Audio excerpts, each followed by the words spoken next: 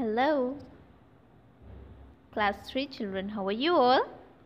I hope you are doing well at home. So today I'm going to explain you poem Thousands and Thousands. This poem was written by Shanta Rameshwar Rao and she was an Indian writer, teacher who wrote several short stories and books for children like Sithu, Tales of Ancient India, and the Children's Mahabharata. So, in this poem, the poetess tells us that though there were thousands of other things in this world, each of us is unique and special. This poem tells us that there are thousands and thousands of stars, mountains, hills, birds, fish, and so many other things. But then it reminds us that although there are a number of these things, but still they are different from each other. They are special in their own way. By saying thousands and thousands in this poem, the poetess leaves us in amazement because there are so many things in this world which cannot be counted, right?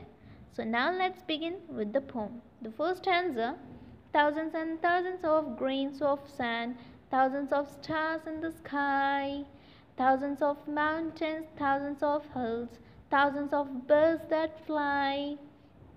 So, by this stanza, the poetess wants to tell us that there are many things in the world which can be counted and which are few in number, but there are many things which are in thousands of even more than that, which cannot be counted like. In this stanza, you can see the poetess is talking about the grains of sand, stars, mountains, hills, and birds. They are in thousands or even more than that. Actually, no one even knows that how many stars are there in this in the universe. So, nobody is aware about the actual numbers. Mountains are not as many as stars, but still it is difficult to count them because there are many mountains which are hidden under the sea.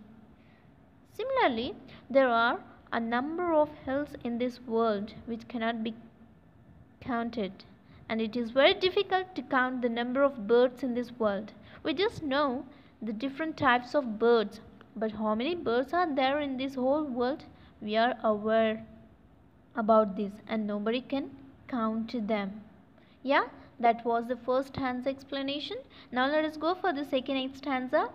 Thousands and thousands of blades of grass, thousands of fish in the seas, thousands and thousands of pretty flowers, thousands and thousands of trees.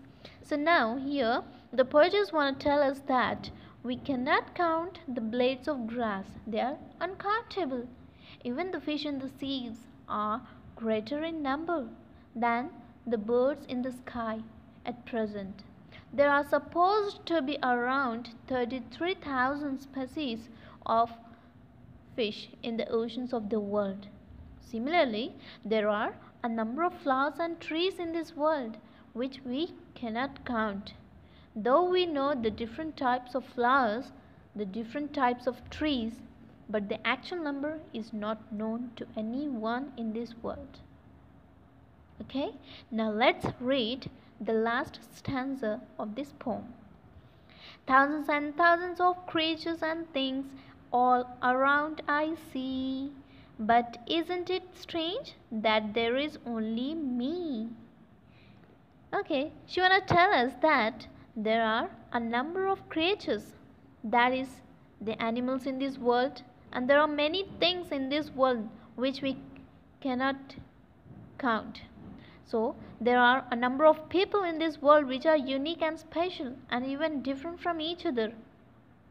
The number of people keeps on rising every year like for example, you can see it in your family itself. There are a number of members in your family and they are special and unique in their own way. And at last, by saying this, but isn't it strange that there is only one me? The poetess want to tell us that everybody is special and different from each other. They are unique in their own way. So that was the explanation of the third stanza. I hope you have understood it clearly. Stay tuned for more updates. Take care.